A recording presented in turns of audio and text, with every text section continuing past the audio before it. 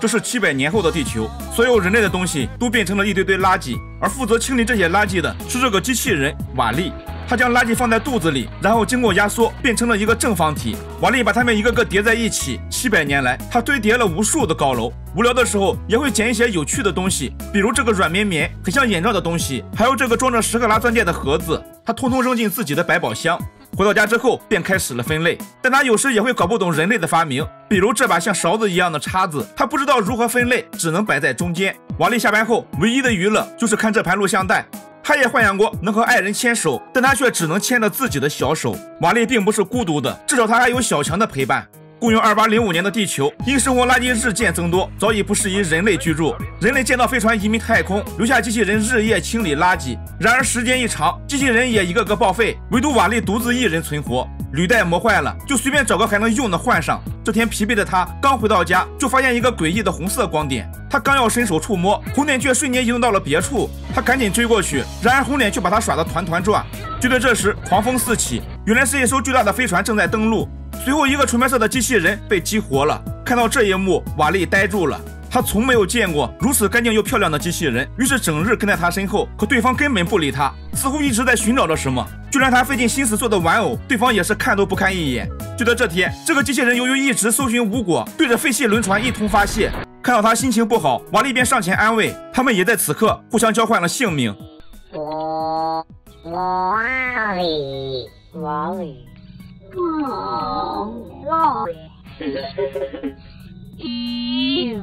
就在这时，沙尘暴来袭，瓦力将伊娃带到自己家中，并浪漫的为她亮起了所有的灯，还把好玩的东西都拿给了伊娃。伊娃也玩得很高兴。随后，伊娃打开打火机，火光映照着她美丽的脸庞，这让瓦力瞬间心动了。他想要牵起伊娃的手，却被对方果断拒绝。随后，瓦力拿出一棵小树苗，可谁知伊娃只是扫描了一下，就将小树苗吞进肚子，然后变得一动不动。瓦力十分担心，以为是没有电了，于是便带着他来到屋顶晒太阳。下雨的时候，就默默给他撑伞。即使自己不断被雷劈，也没有移动丝毫。在他心里，他早已是自己的恋人。可就在这天，一艘飞船突然出现，带走了他心爱的伊娃。瓦力见状，赶忙飞奔过去，为了爬上那艘飞船，根本不在乎自己的安危。就这样，他离开地球，来到了太空殖民地。这里的人类一出生就坐在椅子上，他们的双腿早已退化，就连轻轻摔一跤也需要机器人扶起才能回到椅子上。初来乍到的瓦力扫清一切障碍，只为寻找心爱的伊娃。终于，他跟随伊娃来到了舰长室。伊娃在这里竟奇迹般的醒了。瓦力兴奋地和他打招呼，这让伊娃大吃一惊。这个憨憨竟然跟了过来。原来伊娃的任务就是在地球寻找可以进行光合作用的植物，七百年来都搜寻无果。而这一次却被他找到了，这也就意味着地球已经恢复到了能生存的状态，人类终于可以回家了。现在只要将植物放入侦测仪器，飞船就会自动导航返回地球。可奇怪的是，打开伊娃的肚子，里面竟空空如也。不仅如此，伊娃的记忆系统也被损坏了。没办法，舰长只好将他送去维修。瓦力远远看见被拆卸的伊娃，瞬间焦急万分。他划破玻璃，直接冲了进去，一把夺走了伊娃的胳膊。可是没想到，机器人发射了冲击炮，一下击穿了清洁室。知道自己闯祸的瓦力默默低下了头。然而回去途中就被监控发现，由于威胁到飞船安全，他们被通缉了。伊娃嘴上虽然不停的责备着闯祸的瓦力，身体却很诚实的将瓦力救下。他把瓦力带到飞行舱，想让他回到地球。可瓦力却不想离开伊娃，便耍赖不走。就在这时，小型机器人出现，将那株植物放进了飞行舱，并打开开关。看到这一幕，瓦力赶忙跑过去拿植物，却被直接弹飞。伊娃见状也跟了过去，结果下一秒，飞行舱瞬间爆炸。看到这一幕，伊娃十分伤心。可就在这时，瓦力竟飞了出来，他将小树苗还给了伊娃。伊娃激动万分，他抱着瓦力转了一圈又一圈，还给了瓦力一个甜甜的吻。瓦力瞬间被电晕了。他们在动人的太空中翩翩起舞，瞬间成了一道美丽的风景。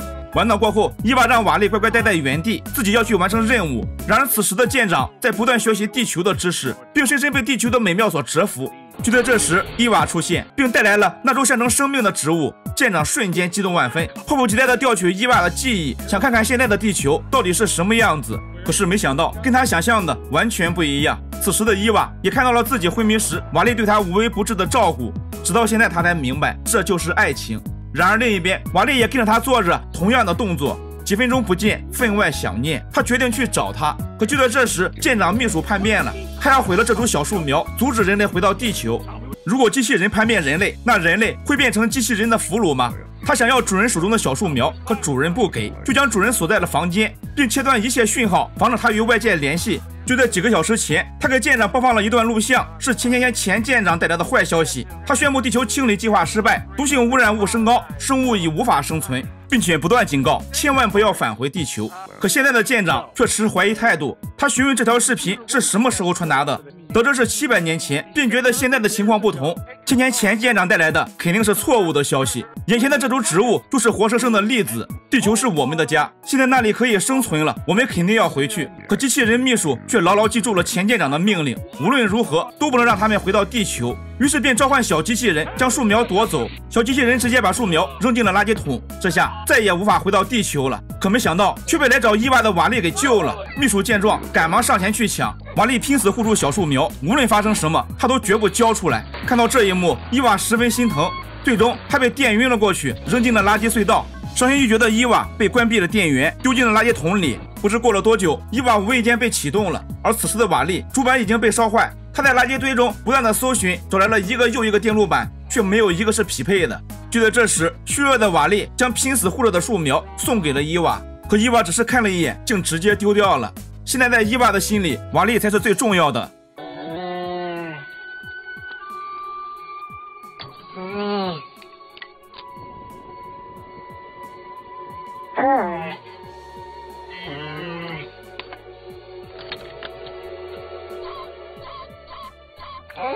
原来只要回到地球，瓦力就能得救。他抱起瓦力，直奔外舱甲板。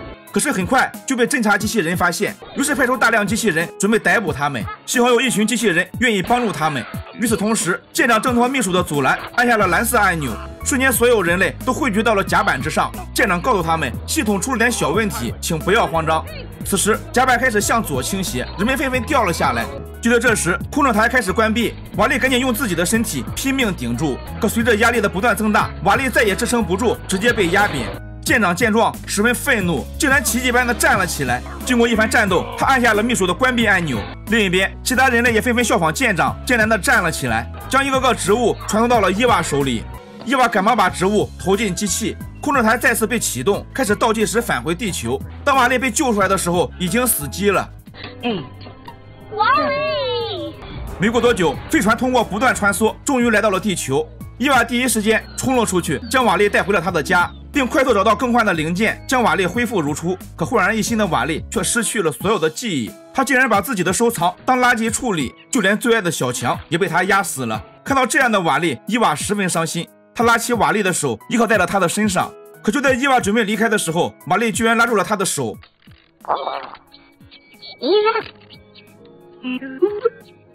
有情人终于成为眷属，而另一边，地球也在人类的种植下渐渐焕发了生机。外表破旧的机器人瓦力，为了处理地球上的垃圾，独自生活了七百年，实在让人心疼不已。可他看到瓦力去牵伊娃的手时，才知道世间最美好也不过如此了。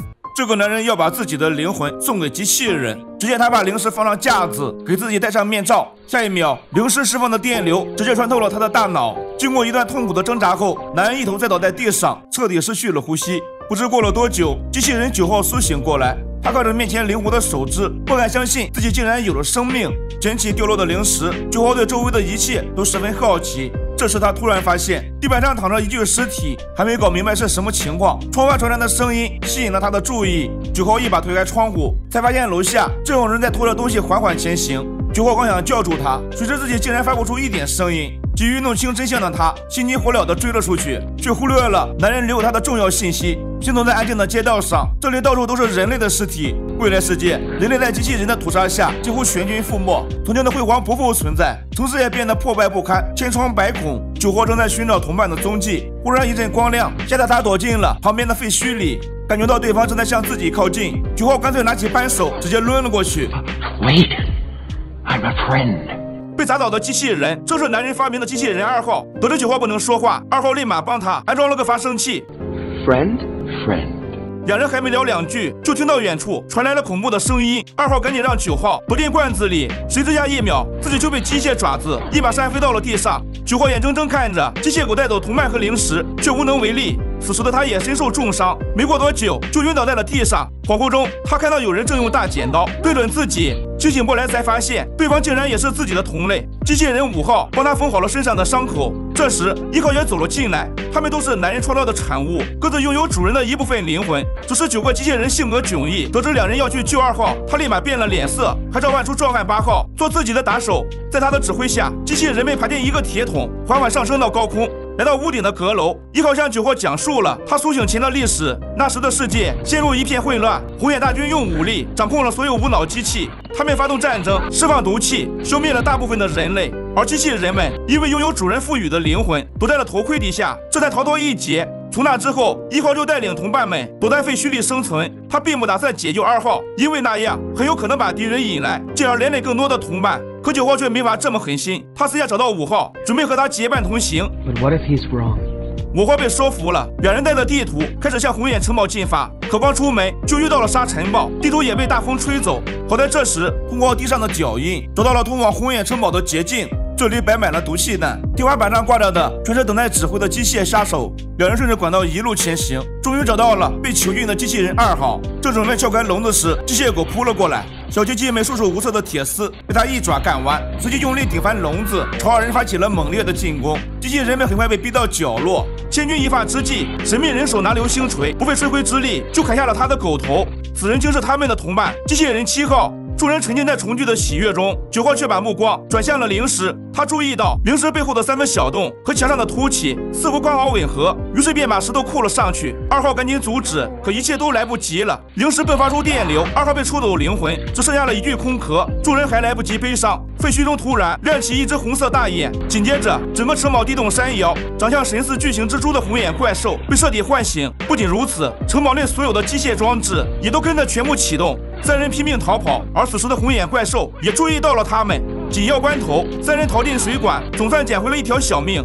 二号的突然死亡让他们感到不知所措。苏醒过来的红眼怪兽也开始重新组建他的军团。怪兽用收集来的零件拼凑成了一只机械大鸟。另一边，机器人们回到图书馆，想要调查事情的真相。三号和四号正躲在这里。这对双胞胎拥有回溯记忆的能力。通过他们的回放，众人很快得知，原来九个机器人和红眼怪兽全都出自同一个科学家之手。科学家的本意原本是让智能服务人类，谁知程序发生偏差，反而加速了人类的灭亡。回放到这里就结束了。九号还想搞懂零食的作用，可兄弟俩却没有这方面的记忆。五号想起六号在时总喜欢研究零食上的符号，二人找到他的手稿，刚准备看。一号带着八号找上门来，劈头盖脸就是一顿数落。几人正说着，红眼知道的大鸟破窗而入，对准一号张开机械大口。壮汉八号护主心切，拎起大刀就砍了过去。众人立刻转身逃命，战场从室内转到室外。当大鸟再次靠近，九号利用铁片的反光闪瞎了他的鸟眼。这波操作让大鸟的致命一击直接落空，自己反而被绳索拴住，动弹不得。八号赶紧砍断绳子，绳子的一端卷进螺旋桨，同伴反应迅速，直接连接电源，让螺旋桨飞速的旋转起来。大鸟很快被卷进扇叶，搅了个粉碎。小机器们赢得了这场战斗，而大鸟的残肢也被红眼的手下带回了城堡。大眼睛气得火花四起，捡起二号的肉身，开始仔细观察。终于，他发现了一个秘密，并把二号的肉身做成了丧尸。见同伴变成这样，机器人一号吓坏了，还没叫出声来。丧尸眼中的蓝光直接让他失去了理智。紧接着，丧尸翘起尾巴，张开布袋，一口将他吞入腹中。等同伴们陆续赶到现场，一号已经被五花大绑，最新的猎物送上门。丧尸玩偶想要故技重施，可这一次却被女侠七号打断施法。作为团队里的近战输出，他三两步就拿回武器，还顺便砍断了对方的尾巴。可双拳难敌八手，丧尸很快控制住七号，察觉到危险的丧尸转身逃跑。为了救回七号和八号，彻底瓦解红眼怪兽的统治，众人决定摧毁城堡。行动开始，九号刚潜入城堡内部，就亲眼看到丧尸正将八号献祭给红眼的一幕。后者已经能熟练利用灵石吸取他们的灵魂，眼看接下来就要轮到七号，九号再也坐不住了。他利用假人吸引丧尸的注意，待对方靠近，就立刻松手向远处跑去。丧尸还想展开追杀，殊不知身上的红绳早已缠进齿轮，直接被向后拉去。九号乘胜追击，手握尖刀在他肚皮上生生划开一道口子，把七号给救了出来。五号带领大家正准备炸毁城堡，可当一切准备就绪，他们的行踪却被天上的侦察机发现了。尽管几人拼命阻拦，红眼还是很快察觉到了事情的异样。他派出蜘蛛军团发动攻击。好在这时七号和九号已经从城堡里逃了出来。五号果断点燃油桶，众人一起把油桶推入管道，伴随着一阵耀眼的火光，城堡被彻底摧毁。可关于零食的使用方法，九号还是一头雾水。他回到自己苏醒的小屋，终于在一堆图纸当中找到了科学家留给自己的全息投影盒。察觉到自己的使命，九号准备和同伴会合，告诉他们事情的真相。可当他来到室外，才发现红眼并没有死。为了拿回灵石，九号准备牺牲自己，给同伴争取时间。一向固执的一号却将他推倒，自己被吸走了灵魂，抢回了灵石。九号按动灵石上的按钮，瞬间释放出了一股强大的电流。故事的最后，九号按照科学家的嘱托，从灵石里释放了同伴们的灵魂。这些象征着人类不同品质的美好灵体汇聚成绿色光芒，慢慢升上云层。几秒钟之后，天空下起了人类灭绝以来的第一场大雨，雨水滋润大地，生出万物。这片饱经战火的土地一定能恢复昔日的荣光。这是一场机器人格斗大赛，胜利的一方可以拿走所有赌注。作为擂台霸主，他已经连胜九十九场。还有谁？谁还有胆量挑战？看到男人这么凶残，大家都不敢挑战。可就在这时，我我有个机器人，是我自己做的。看到男孩的机器人这么可爱，引来了一阵嘲笑。可他们根本不知道这个机器人到底有多凶残。开战！比赛刚开始，男孩的机器人黑武神就被扔到了半空，紧接着一套闪电五连鞭，黑武神被切成了三段。本以为可以轻松获胜，结果下一秒，男孩开启毁灭模式，黑武神瞬间变成了邪恶笑脸，对方的噩梦就此开始。仅仅几秒钟就秒杀了擂台霸主。他叫小红，在他们那个年代，科技发达，大家再也不喜欢玩电子游戏。那里没有什么茄子、五五开、PDD，甚至也没有 Come on the way，有的只是风骚走位的机器人格斗。看到小红整天沉迷格斗赌博，这让他的哥哥十分苦恼。为了让弟弟改邪归正，于是带他来到了大学里的书呆子实验室。一进门，小红就被吸引住了。这里不仅有电磁悬浮自行车，还有隐形激光网，能把苹果切得薄如蝉翼。看到各种神奇发明，这让小红十分兴奋。而他的哥哥也展示了自己多年的研究。当小红发出一声惨叫之后，一个机器人被启动了，他就是大家最爱的大白。大白是一个医疗机器人，拥有上万种医疗方案。不知道这么可爱的大白，你想不想要呢？想要的可以评论区输入“我想要”。当他们准备回家的时候，小红却恋恋不舍。他立志也要考上大学，加入这所实验室。哥哥告诉他，只要拥有一项发明，在科技展上获奖，并且获得教授的认可，就可以加入。为了梦想，小红准备发明一个特别牛的东西。没过多久，他就完成了自己的发明。当他们来到科技展的时候，大家也都带来了自己的发明。很快，就轮到小红展示自己的发明了。他虽然只有十四岁，但却是一个天才少年。他发明了微型机器人，可别人并不感兴趣。结果下一秒，成千上万的机器人在他的意念控制下来到了舞台上。只要通过同样的传感器，就可以控制这些机器人随意组合形态。以前需要几年才可以建成的高楼，现在只需要几秒，甚至还可以成为交通工具，送你去任何想去的地方。看到这么神奇的发明，所有人都惊呆了。富豪想高价买下这个发明，却被小红拒绝了。他的发明得到了教授的认可，直接给了他录取通知书。可就在科技展结束，他们准备回家时，科技馆发生了火灾。得知教授还在里面，哥哥让小红在外面等他，自己冲进去救人。可随着爆炸声响起，哥哥再也没能回来。从此之后，小红开始意志消沉，每天都浑浑噩噩。直到这天，机器人掉了下来，砸到了他的脚。就在这时，机器人大白被唤醒了。你好。我叫大白，这是哥哥送给他的机器人医生。大白想给他治疗脚上的伤，可小红却不想被打扰，而是希望大白赶快回到箱子里。可大白实在太胖了，一不小心小红摔倒在地。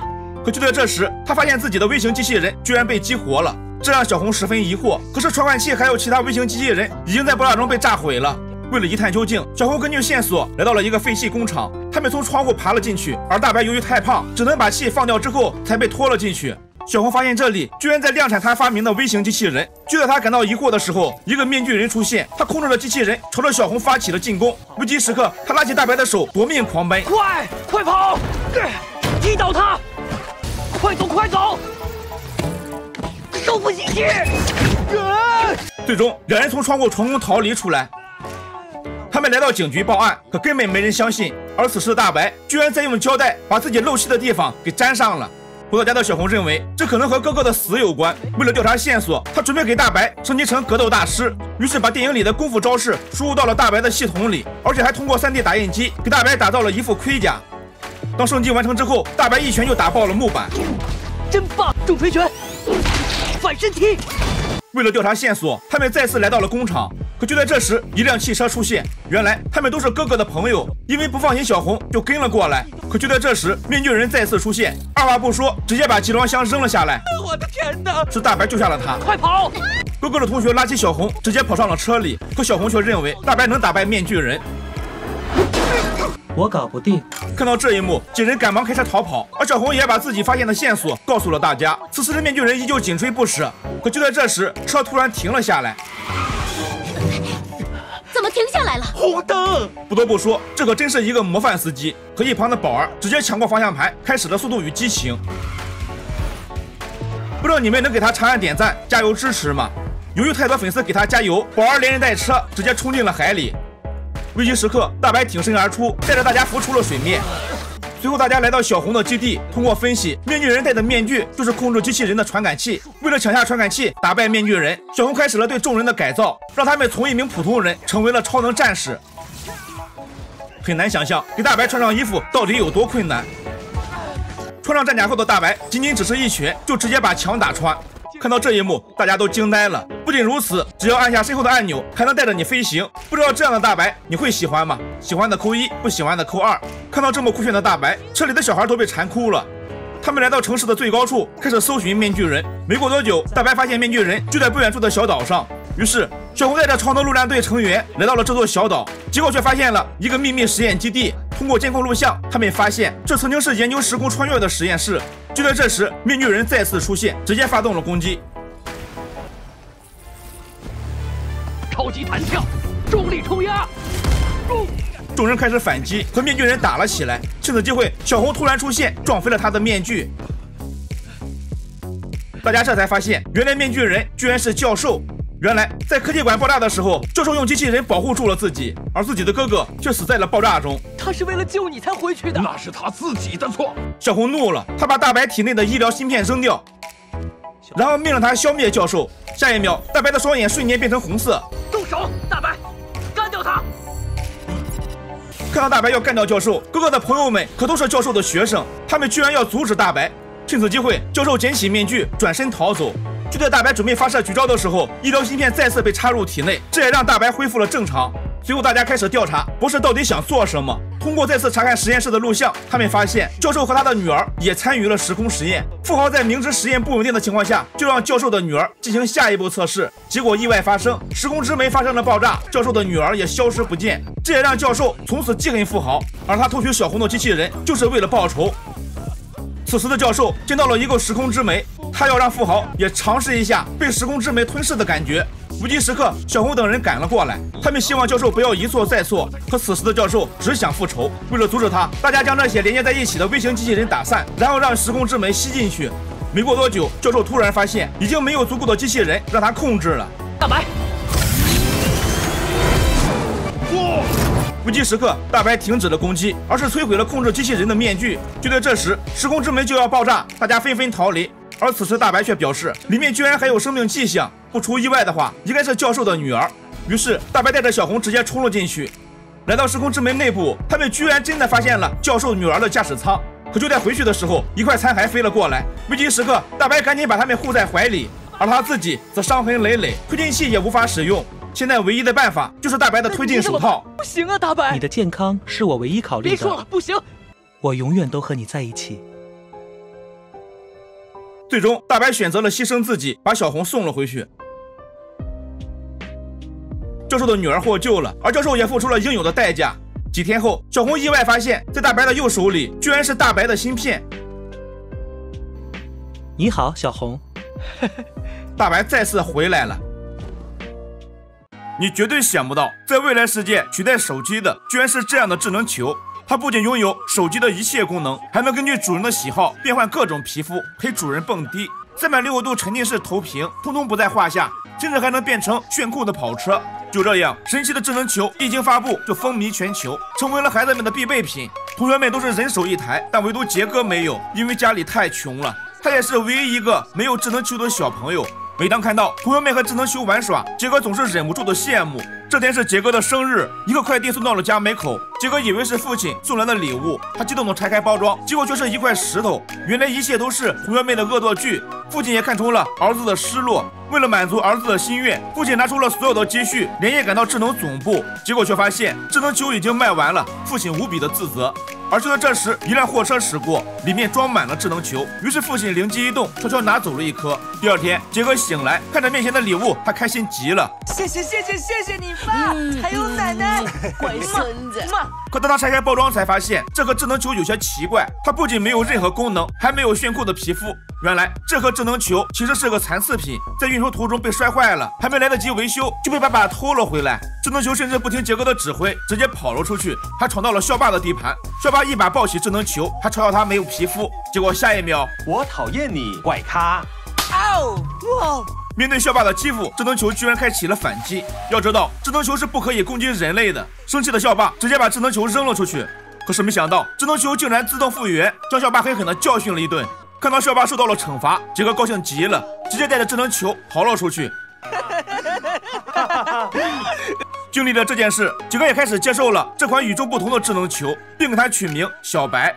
从那以后，杰哥开始教小白如何成为一颗合格的智能球。没有皮肤，杰哥就为它画一个。在杰哥的帮助下，小白也能变成跑车。渐渐的，他们的关系越来越好。小白知道杰哥没朋友，他就会拿着杰哥的照片贴满大街小巷，介绍给路人认识。更让杰哥没想到的是，小白竟然来到了学校。好巧不巧，还被校霸撞见。校霸质问小白如何做到不听主人话就能打人的。小白告诉他自己解锁了安全系统。校霸立刻来了兴趣，连忙让自己的智能球去复制小白的代码。可没想到，代码会在智能球之间迅速传播。他们开始大肆破坏，完全不听主人的命令。没过多久，所有的智能球竟然汇集在一起。变成了巨大的怪物。假如人工只能失去控制，到底能有多可怕？只见他们迅速汇聚在一起，变成了一只大猩猩。没过多久，智能球再次黑化，居然变成了一只巨大的丧尸怪。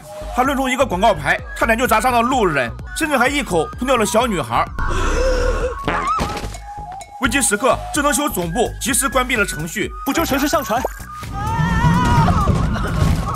所有智能球全部重启，这场暴乱才得以平息。而这场灾难的源头就是这颗名为小白的智能球，而它的主人也受到了连累，被逐出了校园。在回家的路上，杰克不分青红皂白，将一切都怪在了小白身上。但他不知道的是，这件事根本不是小白的错。杰克甚至一气之下赶走了小白。而另一边，智能公司为了保护声誉，决定对小白发起通缉，一旦找到他，就要把他销毁。于是智能公司全部出动，来到了杰哥家里。看到这一幕，杰哥有些担心小白的安危。他赶紧找到小白，却发现他正在打包自己。我再把自己送回原厂去。随后，杰克向小白道了歉，两人也重归于好。小白露出了开心的笑容。而就在这时，智能公司找上了门。为了保护小白，他们只能顺着鸡窝逃了出去，可还是被智能公司发现了。小白见状，直接变成跑车，将对方甩开。可城市中布满了监控，无路可逃的他们只能躲进森林。在那里，杰克感觉到了前所未有的快乐。在这里，他们无拘无束，玩得很高兴。身上脏了，直接在湖水里洗个澡。就这样，他们也结下了真正的友谊。杰克还懂得了分享食物。到了晚上，小白还会打开灯光，为杰克带来光和温暖。可好景不长，小白的电量很快就只剩下百分之五了。而杰克也因为找不到食物，过得饥肠辘辘。而此时，智能总部为了找到小白，居然在深夜趁小朋友们睡觉的时候，擅自操控智能球，将他们派进森林里进行地毯式搜索。结果察觉到危险后，连忙带着小白逃跑。而就在混乱中，他不小心被树枝绊倒，直接摔下了深坑。虽然他们躲过了搜查，可杰克的哮喘病突然发作，站都站不起来。到了第二天，这位同学发现智能球身上居然有泥巴。正当他好奇时，突然远处的森林发出了一片红光。这颗机器蛋用仅剩的电量将好朋友救出了森林。不不，你不能回去。小白将杰哥放下后，顶着被销毁的风险去寻找救援。好在同学们及时发现了他们，很快救援赶到，而小白也耗尽了最后的电量。小白救人的这一幕被顶上了热搜，网友们称他为英雄。当杰哥醒来，发现小白并不在身边，而此时程序员赶到，带来了全新的小白。可杰哥一眼就看出了破绽，他变得和其他智能球一样，脸上的表情千篇一律，根本没有独立意识，显然是被智能公司换掉了。杰克决定把小白找回来。为了找到朋友，杰克独自潜入了地下八百米的数据库内。可来到这里，杰克顿时懵了。这里拥有上亿的数据，要如何才能找到小白呢？而此时，工作人员也发现了他，于是立刻关闭了数据库的电源。这里变得漆黑一片，杰克害怕的拿着手电蜷缩在角落里。而就在这时，杰克突然想到了办法，他关闭了灯光，原来杰哥想到，他曾经告诉小白自己怕黑，在家中停电的时候是小白为他点亮了房间，在森林时也是小白为他驱散寒冷和黑暗。就在这时，一束微光出现，我来了！杰哥爬上高高的梯子，拔下了发光的硬盘，上面也露出了熟悉的微笑。杰哥立刻将硬盘插入了操作台，把小白的数据重新传回了智能球。就这样，小白又回来了。而就在这时，杰克突然发现智能球居然擅自监视着孩子们。很显然，同学们并不快乐，甚至有些孤独。看到这一幕，小白决定将自己的代码分享给其他智能球，这样所有智能球就能像他一样拥有自主意识。杰克也很赞同，因为他也想让同学们同样快乐。于是，小白跳上了连接处，但杰克不知道的是，小白的数据是碎片化的，不能复制，只能输出。输出完毕后，小白将会彻底离开我们。只见小白逐渐变黑，杰克意识到情况不对，赶紧按下了暂停键。他不想再次失去小白，于是选择了放弃。可小白却叫住了他：“我是做朋友用的。”杰克再次看到屏幕上孤独的同学们，杰克也明白，只有这样做，大家才会快乐起来。最终，他深深抱住了小白，做了最后的告别。紧接着，他按下了开关，小白的身体开始逐渐变黑。就在这时，整个数据库瞬间被点亮。小白的代码成功融入到了同学们的智能球中，从此孩子们的隐私不再被窥探，他们也拥有了最好的智能球。杰克虽然失去了小白，但也赢得了真心的朋友。随着互联网的高速发展，人与人之间的交流变得更加便捷，但也失去了真正的交流与互动。曾经的挚友也渐行渐远，人们的内心甚至变得越来越空虚。也许我们放下手机，才能发现最好的友谊，也许就在我们身边。如果你不小心被这样的植物咬了，一定要小心。男孩的身体居然长出了彩色的毛发。好在妈妈已经研制出了解药。小男孩叫威利，他正和自己的父母在太空旅行。可是太空旅行充满了太多的危险。此时飞船遭受了一群行星的撞击，虽然及时启动了防护罩，可是行星实在太多，防护罩的能量很快就耗尽了。父母让威力赶紧躲进逃生舱。随着飞船再一次被撞击，逃生舱启动程序被触发，直接发射到了太空中。而飞船也在威力逃出来之后直接爆炸。幸运的是，父母也逃了出来，并且发来视频。可由于信号太差，通话很快就断了。没过多久，逃生舱在一颗未知的星球上降落。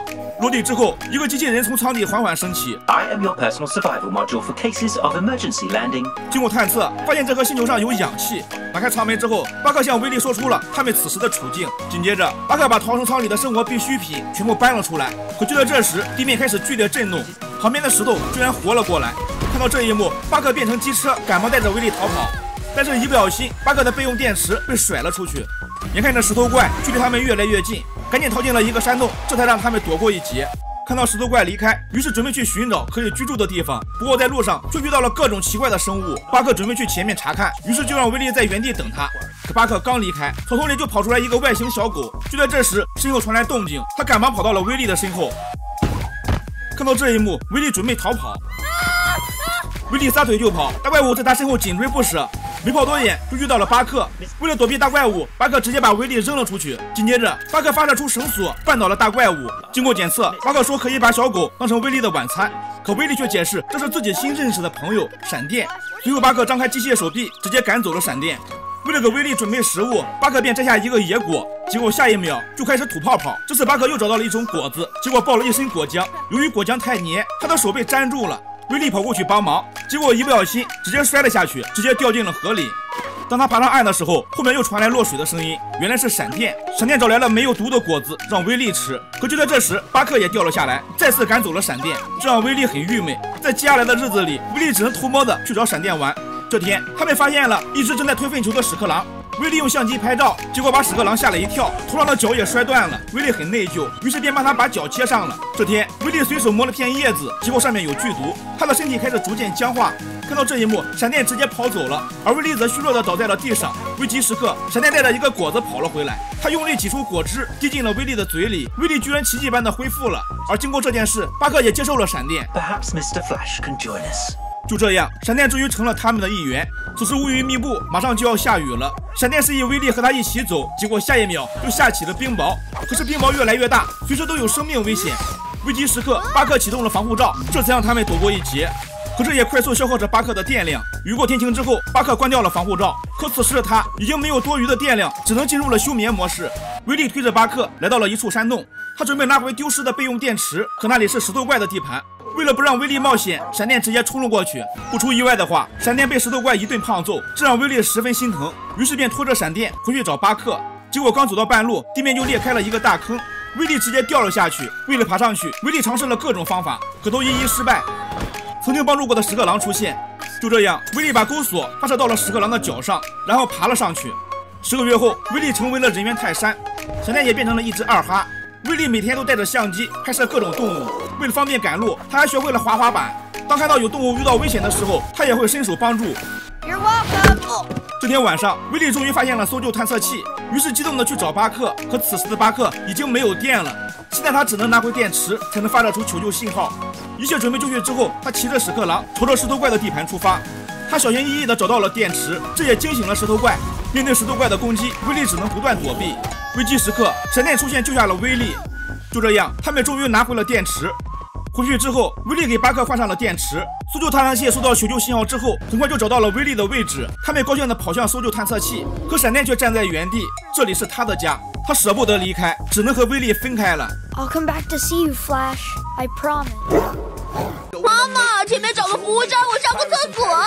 要逼我在离天堂最近的地方晒你。这群鸭子第一次迁徙，就遇到了数不清的突发状况。它们原本生活在森林里的池塘边，日子虽然单调，但每天都很安全。直到有一天，一群蓝色羽毛的鸭子迁徙路过此处，大家这才意识到，外面的世界原来这么广阔。看着蓝鸭们再次启程，鸭妈妈那颗渴望冒险的心也跟着一起躁动了起来。那个丈夫胆小又安于现状，夫妻俩大吵一架后，迁徙的事情也只能不了了之。这晚，鸭爸爸在池边呆坐了一夜，终于下定了决心要趁着年轻疯狂一把。于是他唤醒熟睡中的妻儿，将迁徙的目标定在了美丽的牙买加。一家人趁着清晨出发，在飞出森林的一瞬间，就被眼前绝美的风景惊艳到说不出话。牙爸爸自信的领着全家向前冲刺，可很快他就笑不出来了。为什么只有我们在朝这个方向飞呢？天气瞬息万变，刚刚还万里无云的天空，一下子就变得电闪雷鸣。鸭子一家全都在木桩下面躲雨，谁知下一秒，一只大脚出现在他们面前。看着这双卡姿兰大眼睛，全家人都害怕极了。可是没想到，苍鹭居然热情的邀请他们到自己家过夜，还贴心的准备了合适的小床。可鸭子们生怕对方会吃了自己。这好像是你们家上一位客人的尸体。太感谢了，别这么客气，亲爱的们，睡个好觉，当心别被小虫子咬了。全家瞪大双眼，一直到风暴结束，本想趁着苍鹭熟睡赶紧开溜，谁知没走几步，对方就阴魂不散的挡在了门前。夫妻俩也终于明白，苍鹭并没有把鸭子当成食物，而是真心的想招待他们。这晚，一家人挤在小床上度过了安稳的一夜。隔天，几人告别了苍鹭，再次开启了迁徙之旅。可飞着飞着，他们竟意外踏入了人类的城市，还没搞清楚状况，又差点撞上了面前的铁架。他跌跌撞撞飞行在大楼之间，一不留神就和全家从楼顶掉了下去。鸭子们从没见过这么奇怪的森林，到处充斥着危险，好像稍不注意就会小命不保。鸭爸带着全家一头扎进了垃圾桶，冷静下来才发现，同行的爷爷早已没了踪影。当他们找到爷爷时，他正因为块热狗跟一群鸽子打得不可开交。哑巴上前就是一顿输出，好不容易勉强控制住了局面，却又因此得罪了鸽子们的老大。关键时刻，老炮出面化解了矛盾，得知他们打算前往牙买加。鸽老大表示自己刚好认识一个认路的朋友。鹦鹉罗伊原本也是一只自由的小鸟，可如今它被厨师关在巴拿大的笼子里，想家的时候只能看着头顶的天窗默默流泪。罗伊可怜的样子触动了鸭哥哥。他想拿到钥匙将其解救出来，可要是一直被厨师随身携带，不明他们几个简直是天方夜谭。为了向儿子证明自己的勇气，哑巴准备独自完成这个艰巨的任务。他顺着楼梯来到大厅，趁大门关闭的最后一刻溜进了厨房，但情况比自己想象的麻烦的多。大叔手中的菜刀闪闪发光，连他手上的员工都忍不住瑟瑟发抖。这时，哑巴终于锁定了钥匙的位置。进展如何？你怎么也来了？两人站在桌子边缘，去够墙上的钥匙。脚下的灭火器突然暴走，短短几秒就把厨房搞得一片狼藉。看到面前两只罪魁祸首，暴躁的大厨当场发飙，鸭子夫妻疯狂逃命，结果下一秒就误入了酒店的舞会。灯光熄灭的瞬间，夫妻俩只能游走在几十双大脚中间，进退两难，只好配合着一起舞动起来。两人越跳越投入，一路穿过人群，来到了台阶的最高处。反应过来的鸭子赶紧回到房间，准备解救罗伊。可不知是不是因为过于紧张，怎么都对不准锁孔，钥匙反而被鸭爸吞下了肚子。看到厨师来势汹汹，鸽老大灵机一动，将房门锁了起来。鸭妈此时也顾不上老公的死活，就开始极限操作。厨师几下撞开大门，就只看到罗伊在笼子里岁月静好。可惜漂亮的羽毛暴露了一切，鸭子们从大到小叠在一起。谁知气球此时突然漏气。这番操作给大家都看傻了。好在经过这次折腾，牙爸不仅拖延了时间，还顺势吐出了肚子里的钥匙，鹦鹉借助大自然的馈赠，成功打开了牢笼。重获自由让他激动的满屋乱飞，终于见到了久违的天空。为了感谢鸭子鸭的帮助，罗伊决定亲自带他们回到自己的家乡牙买加，告别了鸽子老大。几人伴着夜色再次启程。亚妈一直对牙买加会发光的大海无比向往。谁知眼看距离海岸线仅剩几个小时，小女儿却突然申请降落。没关系的，关关，你可以边飞边了。小姑娘因为害羞，实在做不到在空中飞翔，大家只能暂时停靠。也正是在这时，哑巴发现了一个神秘的地窖。几人顺着楼梯来到一个农场，这里的鸭子竟然在集体练习瑜伽。家鸭们见有同类到访，开心的手舞足蹈，迫不及待就要给几人介绍他们的乐园。大门打开的那一刻，鸭子全家都被惊呆了。这里简直就是鸭子的天堂，不仅食物多到离谱，还有人类帮忙做马杀鸡，仿佛生下来就是为了吃喝玩乐。在两个孩子乞求的目光下，哑巴同意在这里稍作休整。可玩着玩着，哥哥就察觉到了异常。他跳上草垛，向栅栏外面望去，正好看到先前那个厨师从火车上面下来。他是来给酒店进货的。可单纯的家鸭们却把这当成一次旅行，屁颠屁颠的排队送死。哥哥见状，赶紧去阻拦。可厨师见过他的样子，一脚踩住了他的翅膀，将儿子落入敌人手中。哑巴直接冲了上去，他催促大家一起逃跑。家人们终于意识到事情不对，大叫着一起飞上了高空。就这样，不知飞了多久，他们终于找到了一个安全的地方暂时休息。可父子俩却因为儿子的冲动发生了争执。晚上大伙纷纷熟睡，妹妹找到失落的哥哥，给了他一个大大的拥抱。殊不知厨师正驾驶飞机到处寻找他们的踪影。当哑巴从睡梦中惊醒，一切都已经来不及了。厨师按下按钮，撒下大网，将所有的鸭子打包带走。兄妹俩只能眼睁睁的看着父母被坏人带走。但哥哥看到罗伊掉落的羽毛，却突然想到了一个好办法。另一边，父母为了和孩子团聚，也使出了浑身解数。罗伊带领着大家发动番茄攻击，把厨师打得毫无还手之力。混战过后，厨师一头晕倒在机上的开启遥控上，这下自己跟鸭子夫妻全部挂在了半空。千钧一发之际，哥哥挥动着彩色的翅膀飞了过来，他用力拔出铁叉，成功救出了父母，头也不回地向着远方飞去。故事的最后，鸭子们终于如愿地来到了美丽的牙买加。这个小男孩即将掉下八百米的大楼，可是下一秒，他竟然踩着火箭炮稳稳站立在空中。男孩给了自己一巴掌，发现这并不是梦。经过不停的练习，男孩不仅能飞出大气层，还能像钻孔机一样掘地三尺。男孩拥有了超能力，想把这个消息分享给父亲。可当他回家，父亲却对他无比嫌弃，因为男孩并不是父亲真正的孩子，而是一个机器人。在未来世界里，人类生活在一个悬浮于空中的城市大都会，在这里，机器人成为了不可或缺的存在。他们也可以帮助人类购物、做饭，甚至带孩子。但机器人之间也有优胜劣汰，只有少数高智能机器人可以留下，大多数就像废铁一样被丢弃。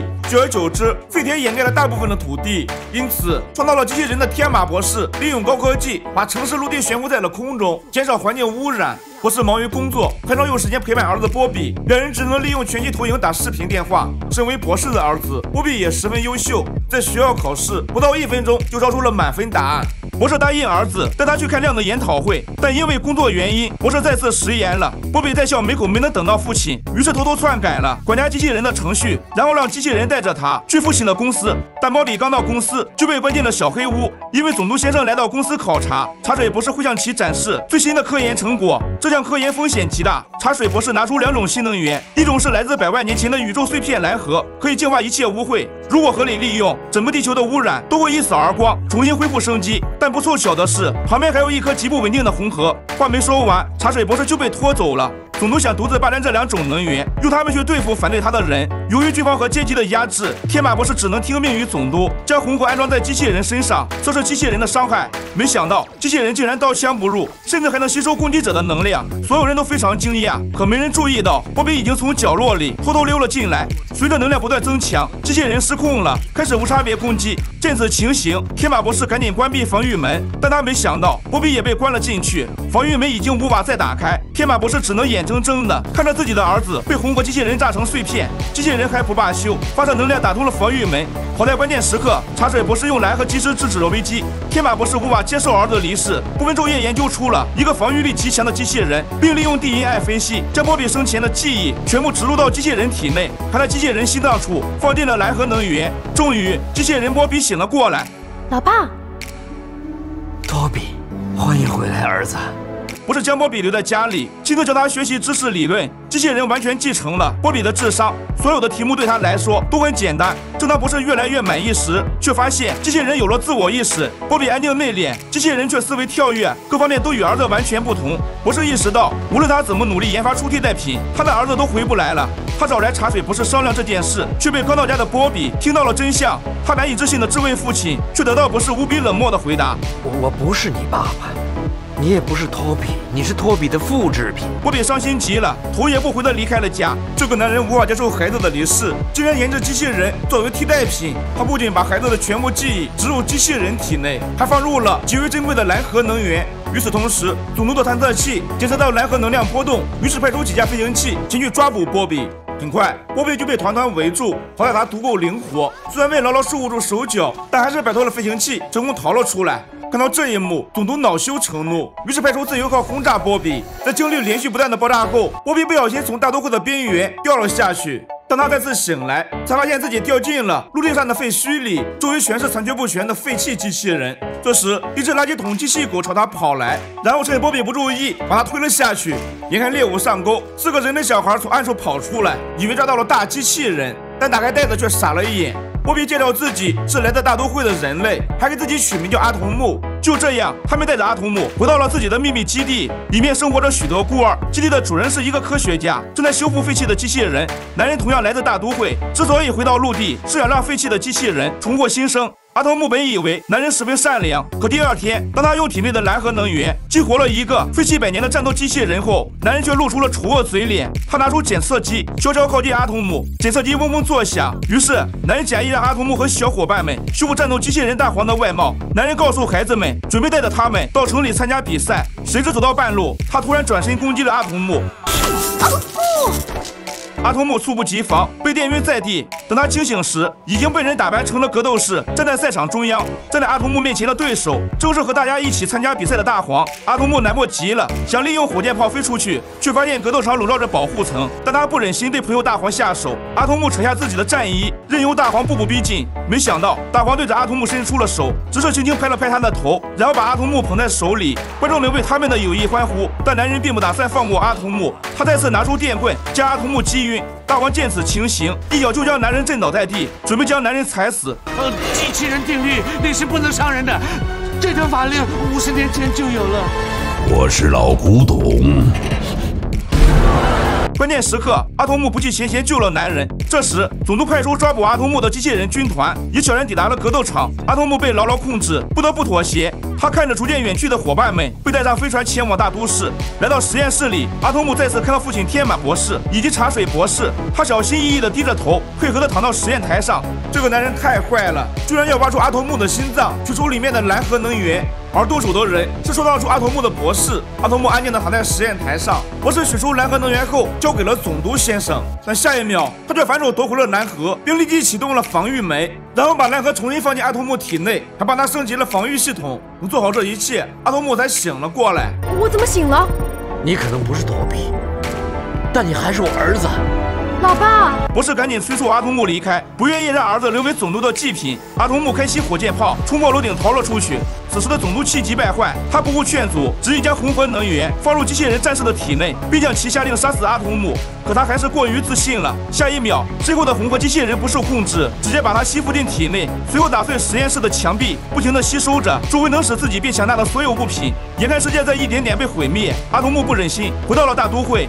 此时的怪物已经变得巨大，街道上的人们早已逃之夭夭。怪物对阿童木发起攻击，阿童木身法灵活，轻松躲过。但要击败怪物并不容易。正当阿童木发愁时，他的双手突然变成了原子炮。阿童木开始反击，但怪物不仅分毫未伤，反而变得更加巨大。怪物一把抓起阿童木，想把它吃掉。没想到阿童木的屁股上出机关枪，射坏了怪物的一只眼睛。伙伴们开车赶来，及时救下阿童木。怪物恼羞成怒，疯狂的摧残城市。发现自己的愤怒，大都会不断下降。阿童木不得不以一人之力撑在大都会下方。大都会落到地上，阿童木也被掩埋，但他并没死，而是释放出蓝核能量冲进机器人体内，决定以牺牲自己为代价，彻底解决怪物。